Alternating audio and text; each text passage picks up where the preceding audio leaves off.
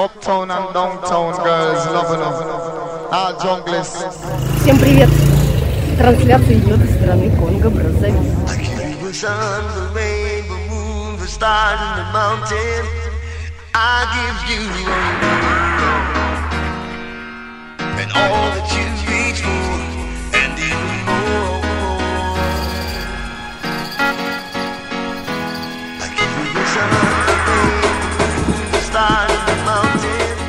Конго Браззавиль прекрасный, причем нам не трепали совершенно нервы на границе, А, быстренько поставили штамп, где мы хотели, и все, и мы идем на берег, на пляж. Напомню, что визу в Конго мы получали в городке Кабинда. Стоило это 100 долларов. Мы пытались получить визу Конго в Луанде, но у них не было наклеек для визы, и они отправили нас в Кабинду. Такая система. Мы вчера не подрасчитались с ангольскими квадзами, они у нас закончились, и мы остались без ужина. Все заплатили за эту гостишку. А сейчас мы пришли. Здесь э, этот объединенный центральноафриканский франк, валюта, которая действует в шести странах, 610 центральноафриканских франков равняется одному доллару. Сами девушки мы вам покажем попозже, они так себе не очень симпатичные. А теперь перейдем к тому, что мы здесь видим. Две зажаренные ножки на гриле. Одна ножка полдоллара, авокадо стоит 200, что соответствует, ну, где-то центов 30. Но это мы первый попавшийся ларек зашли, а я думаю, что на маркете можно и дешевле купить авокадо. Ну и, конечно же, французская булка. Конго-то у нас бывшая французская колония. Нам теперь надо вспоминать французский язык. Орлево Франция. Используем центральноафриканский франк. На купюре 10 тысяч изображен самолетик, поезд и радиолокатор. 5 тысяч. Изображены зверушки, слоны, страусы и антилопы. На купюре 2000 изображена какая-то сельскохозяйственная машина, а может быть машина для добычи золота. На купюре 1000 франков изображен лесовоз. И 500 детишки, которые учатся в школе. Также существуют монеты 100 и 50 франков. Merci beaucoup.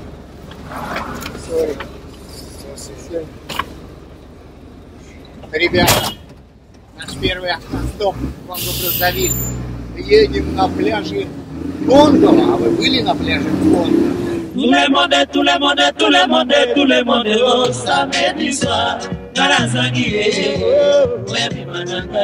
Narazangi, Webi Manangayo, Odowele, Yo, Oborane, Yo, Obafete, Yo, Obasanza Mikolo na Mambula, Yo, Ngana leli yo yo yo yo yo go go go go go Ngana leli yo mama Ребят, мы по Оверлендеру вышли в деревне, которая называется а, Джена. Это 17 километров от границы. И здесь на океане была обозначена точка, что у чувака, испанца, есть э, вилла.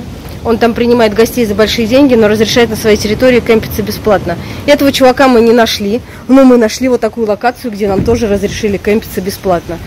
Деревянная крыша. Мы живем в первой линии, там бушует океан. Сейчас будем кушать конголезские ништячки. Папайку вот купили за 300 франков. Uh-huh.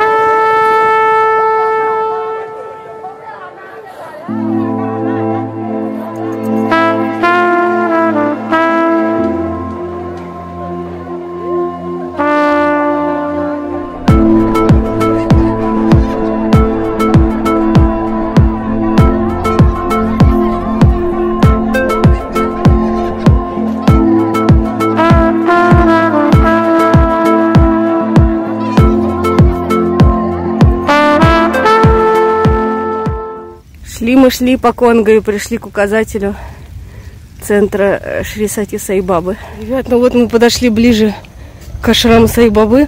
Узнаваемый дизайн колонны. Приоткрыта дверь, и оттуда играет музыка.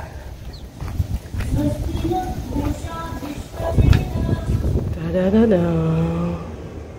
Джести Сай Бхагаван, Бабаджики.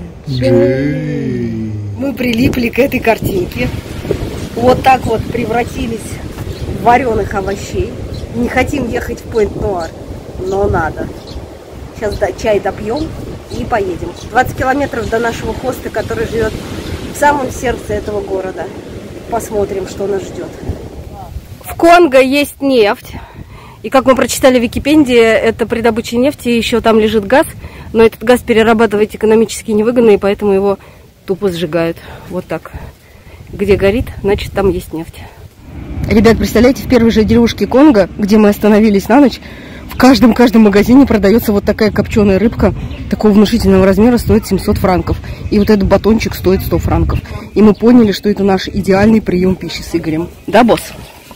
О, oh, yes. Мы наслаждаемся. 90% автотрафика на дорогах Конго это такси. У них такая классная расцветочка, зазывательная. Голубая, синенькая.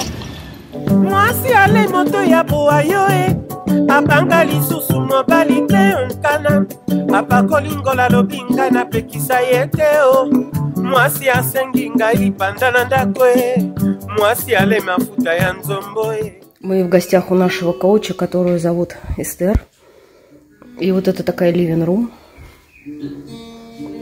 Очень приятная. Мы сегодня спали вот в этом уголку. Здесь еще есть кухонка. И наша хозяйка отдыхает, потому что мы с утра с ней вместе сделали йогу. Слушайте, ребят, ну в Конго мы живем у нашего потрясающего хоста, который зовут Эстер. И вот она согласилась ответить на несколько наших вопросиков. Сейчас мы будем ее расспрашивать про Конго. What is typical Congolese food? Saka saka. What is it? Uh, it's it's um, plant from cassava. Cassava. Uh-huh. Cassava. Yeah. Okay. And how do you cook it? With uh, oil. Uh-huh. Yeah. With uh, some uh, vegetables and fish inside. It took a long time to cook it, really? but it's good at the end. So thank you very much. Thank you very much for everything. It's a pleasure to know you. Merci beaucoup. Merci. Bye. Bye. Конечно, мы не любители пляжного отдыха, но в Конго-Браззавиль невозможно себе отказать. Это наши друзья. Этот мальчик-мусульманин Иса, Иисус его зовут. И Люба наслаждается солнышком.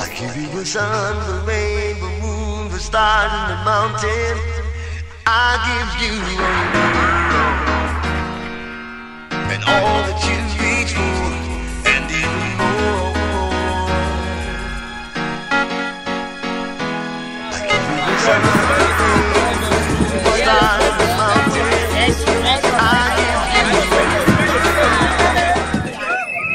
Смотрите, конголезская свадьба.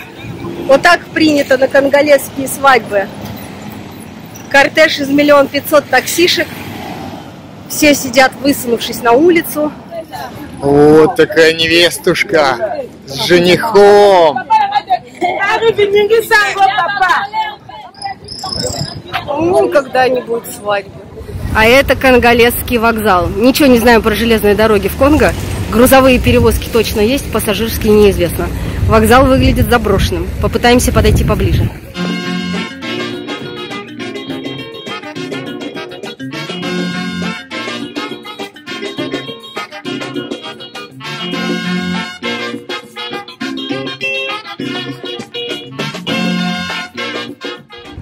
Ребята, очень смешная ситуация. Короче, поезда отсюда ходят только грузовые в Галюзи, куда мы направляемся. Но можно заказать дрезину, и она будет стоить 300 долларов для нас. Проехать можем на ней 170 километров. Такие дела. Капец. Ну, представляете, вот здесь сделали такую аллею. Всего лишь нужно в плошечке посадить пальмы и расставить их по улице. Люба, твои впечатления от этой аллеи? Ну, я вам хочу сказать, что тень в Конго – это одна из самых важных вещей, поэтому... Помогает.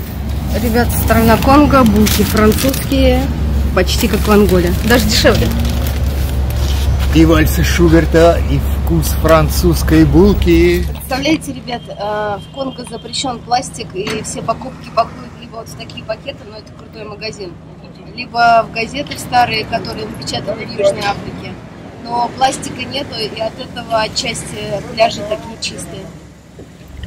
А вот газированные напитки в Конго дорогие, так же, как и в Анголе. Вот эта бутылка полтора литра стоит тысячу франков. Это где-то полтора доллара, даже больше. Вот такой шашлычок стоит 100 франков. Игорь его замотали в бумажку.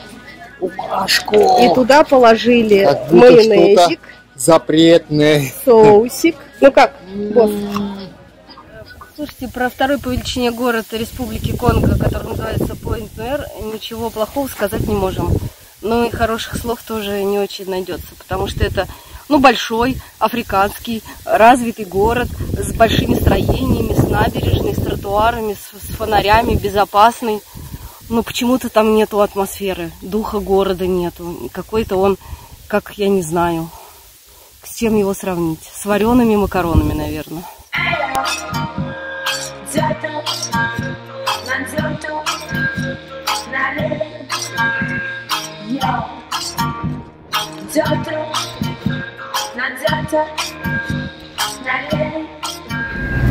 Тони, please tell us some Russian.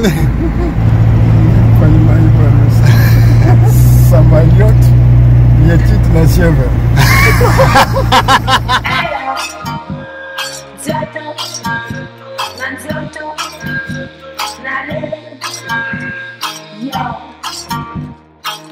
А это конголезский размер.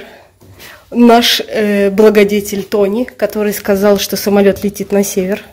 Но он привез нас в эту гостиницу и сказал, я плачу. И тут, короче, кошмар. Как все чисто и светло, и хорошо. Но электричество будет от генератора только вечером. Как только вышли от нашего хвоста, сразу конголезцы начали нам помогать. Сначала экспаты довезли нас до прямой дороги на Делюзи. Потом другой говорит, я туда не еду, но сейчас я закажу вам такси. И нас довезли до самого выхода на Делюзи из города. И потом нас взял человек, который провез 60 километров и еще вдобавок нас поселил в отельчик своих друзей. И сейчас мы ждем, он говорит, подождите, сейчас приготовят еду. Ждем еду.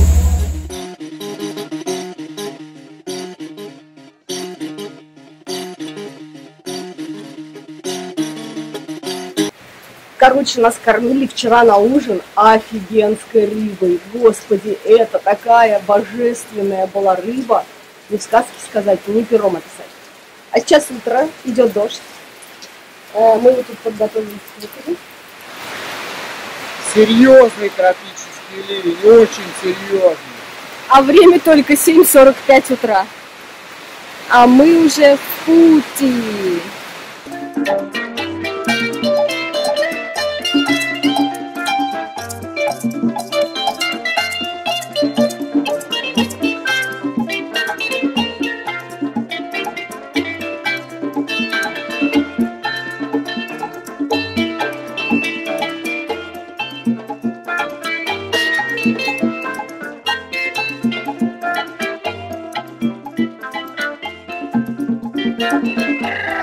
Асфальт закончился, мы уже добрые километров 60 едем по грунтовке, меняем машины с одной на другую. А тут Друзья, это национальный хайвей, который ведет из Конго в Габон. Прям национальный-национальный. Поросят купаются на нем. Вон еще идут. А нам туда, еще километров 150. одна нефтяная держава Конго и вторая нефтяная держава Габон. И они соединяются вот таким шикарным хайвеем друг с другом. Продолжаем наше движение к Габону. Вообще дорога так изматывает. Вот такая вот дорога. Вот, и мы уже на ней весь день. И вот такие вот люди живут здесь, помогать нам. Мерси боку. Мерси боку. Мерси боку. Застряли опять. И осталось 100 километров до границы с Габоном. И никого. Машины какие-то редкие, непонятные, деньгопросные. По хорошей традиции застревания на дороге машина вчера в Ньянгу не поехала. В 6 вечера мы сошли с дороги на обочину, сделали несколько шагов внутрь джунглей и вот так поставили нашу палатку. Вот она тут стоит, Вокруг нас шумят джунгли. Ночью шел дождь, но наша палатка выстояла. А тут у нас хова. Босс отдыхает. Как прошла ваша ночь? Прекрасно, прекрасно. Комаров почему-то нет. Какие же у тебя э, пожелания на день? Дойти до границы.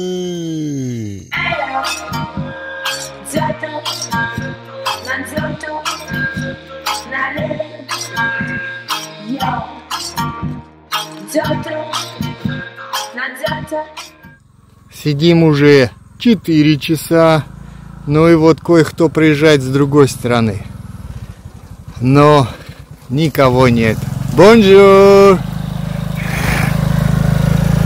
В хождении по конголезскому бездорожью, конечно же, нет никакого смысла, потому что до границы нам еще 90 километров. Ну что нам сидеть на одном месте? Мы лучше чуть-чуть погуляем. Можем еще пройти эти 90 за три дня, Люба. Хватит хныкать. Нам говорили, что в Конго есть слоны, а мы не верили. Оказалось, есть. И оказывается, мы спим рядом. Вот. Ну, может быть, покажем вам еще слонов в Конго. Они здесь. Представляете, время уже 5 часов вечера следующего дня, а машина на Ньянгу так и не поехала. Проехала одна машина с китайцем, который надменно посмотрел на нас и поехал дальше. И все. Дорогие друзья, как бы мы не прятались от детей, дети уже бегут к нам. Остался километр от деревни, и сейчас они к нам придут. Замечательный человек, которого зовут Адольф, помогает нам уехать из этой деревни. И принесли нам стулья, Люба отдыхает, и дети вот тоже вместе с нами отдыхают. И мы едем в Нянга, а это наша охрана. Ну что, вот это уютное помещение было сегодня нашей комнаткой. Добрые люди разрешили нам здесь переночевать. Они живут как в доисторические времена. У них нет электричества. Они в 8 вечера уже все спали. Просыпаются с первыми петухами. Вот. А мы сейчас идем на дорогу и уже третьи по счету сутки будем пытаться добраться до города Ньянга и габонской границы. С сегодняшнего дня начинает действовать наша габонская виза, и мы уже можем смело выходить. Ура! Габон! Итак, время 7.53 утра. У нас моросит мелкий дождик, который не пошел ночью. Но это не мешает нам разжечь костер, скипятить чай. Чая у нас, слава богу, в достатке. Горсть риса. Вот в данный момент варится последняя, крайняя горсть риса. Еды больше нет совсем. Ребят, есть такая чудесная травка. Если потрогать пальчиком, она закрывается. Сейчас Егор нам это продемонстрирует. Давай. Трава живая. Уп. Уп. Ребят, ну что, мы застопили вот эту хрень на третьи сутки. Короче, нам осталось 30 километров до Ньянги. И мы договорились с водителем на 3000 за двоих. Это порядка 5 долларов. А он сколько хотел вначале? 10, 10, 10. Вот так. Пора,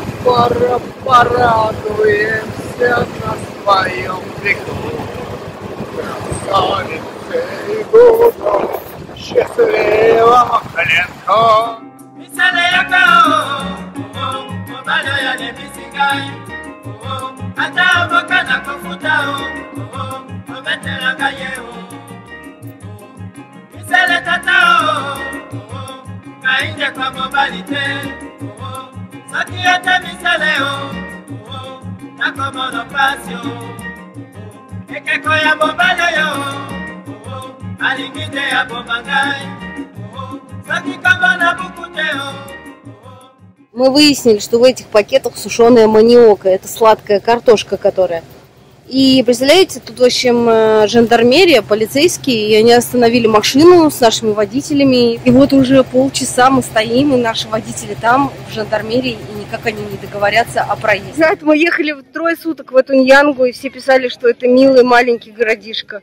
Но почему-то мы не разделяем мнение большинства. Он Ты маленький. говоришь, Вообще не миленький. Это какая-то жопа мира грязная, немытая жопа мира. Я, конечно, не Варламов, но по-другому никак не скажешь. Ты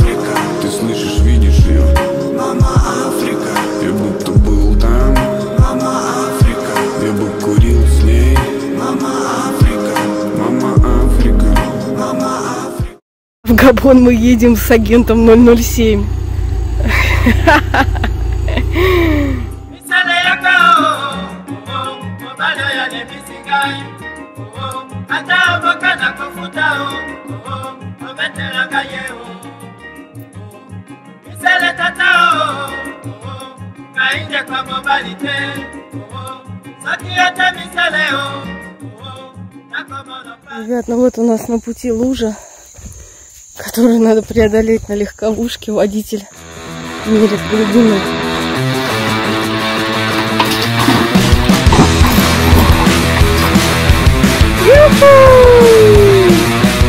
Вся деревня переживает за нашу машину. Проедем мы следующую лужу или не проедем. У нас новое препятствие. Надеюсь, мы пройдем. Остается 15 километров до Габона. Машина все-таки не доехала.